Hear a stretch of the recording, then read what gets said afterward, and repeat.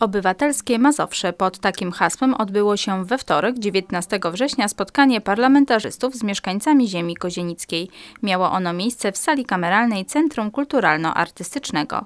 Do Kozienic przyjechali reprezentujący Platformę Obywatelską Agnieszka Hanajczyk, Ewa Kołodziej, Andrzej Czerwiński i Marcin Święcicki. Posłowie skoncentrowali się głównie na dyskusji z przybyłymi na spotkanie mieszkańcami. Wśród nich byli m.in. samorządowcy z terenu powiatu kozienickiego. Dyskusja rozpoczęła się od przybliżenia gościom specyfiki zarówno gminy Kozienice, jak i pozostałych gmin wchodzących w skład powiatu. Mowa była o potencjale gospodarczym i największym zakładzie w regionie, jakim jest elektrownia Kozienice, obecnie Enea Wytwarzanie. Dużą część dyskusji zajęła też reforma edukacji.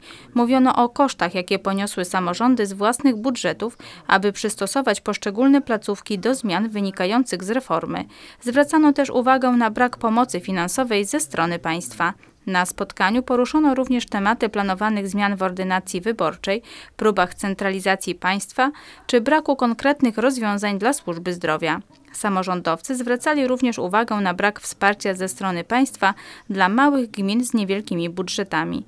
Spotkanie z parlamentarzystami poprowadziła Renata Wołos, przewodnicząca Platformy Obywatelskiej w powiecie kozienickim.